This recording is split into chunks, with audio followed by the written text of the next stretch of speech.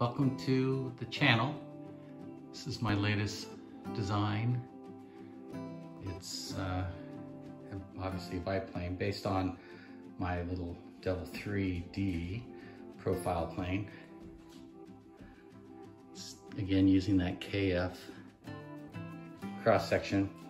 When I did the Pitts, the wing cross section length was uh, probably not enough the ailerons were not very um, effective. So when I made in that flight, I also was a little uh, tail heavy, so things did not go well.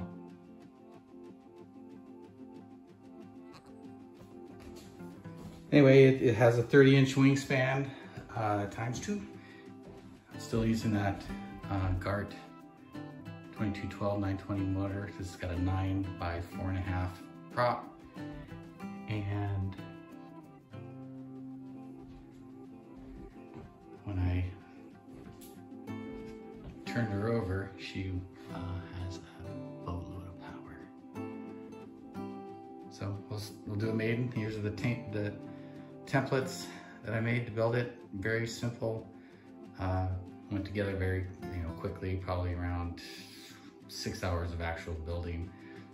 Um, it's pretty, pretty stiff with this cross section and these uh, are reinforced with the larger barbecue skewers. So it seems like it's structurally fine. We'll see how this has got a new aileron set up. I've got one aileron for the top and one for the bottom. So basically they're just mirrored there. No connectors between the ailerons, top and bottom. The double stuff, basically the two-wing version of my little Devil 3 D profile. So profile plane, we'll see.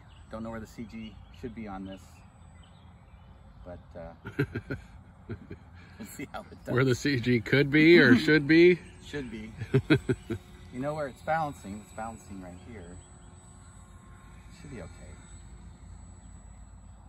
You know, if it's tail heavy, it won't be dramatically tail heavy. Anyway, we're gonna do the maiden. Okay. Ready? Throttle.